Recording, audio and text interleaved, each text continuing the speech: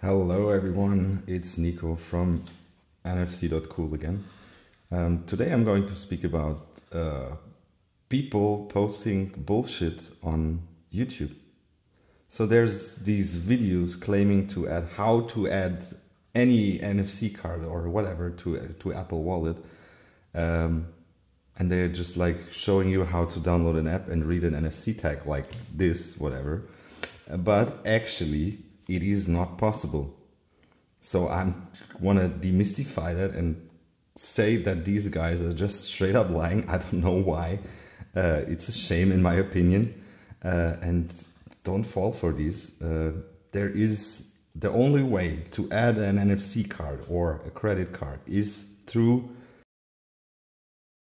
um, through any app. Apple doesn't allow that. It's technically possible, yes, but Apple prohibits that for um, third-party developers.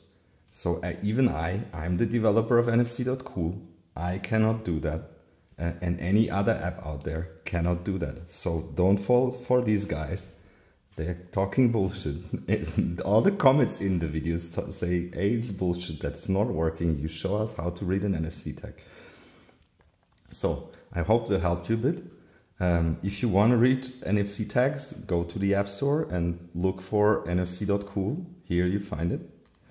Uh, give it a download. Um, uh, with my app, you can read all of these easily.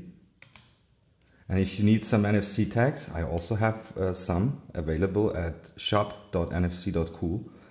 Um, uh, but uh, I'm just shipping to Europe. So uh, just for European customers. I hope that helped a bit and uh, see you in the next one.